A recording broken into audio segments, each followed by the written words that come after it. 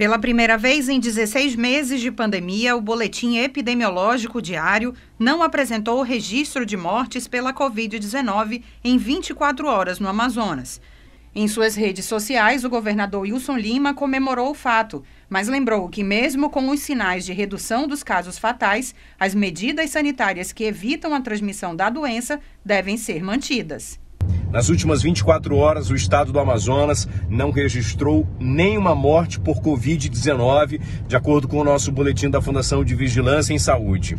Isso mesmo, nenhuma morte nas últimas 24 horas no estado do Amazonas. Essa é uma notícia que nos traz esperança, mas nós não podemos descuidar dos protocolos. Vamos continuar vacinando, vamos continuar avançando para que situações como essa se tornem cada vez mais frequentes. De acordo com dados da Fundação de Vigilância em Saúde, doutora Rosemary Costa Pinto, até esta terça-feira já foram aplicadas 2.142.505 doses de vacina em todo o estado. O crescimento no número de vacinados se deve principalmente aos mutirões realizados na capital e no interior. Só neste sábado serão realizados mais cinco mutirões simultâneos. A campanha Vacina Manaus vai totalizar 10 municípios.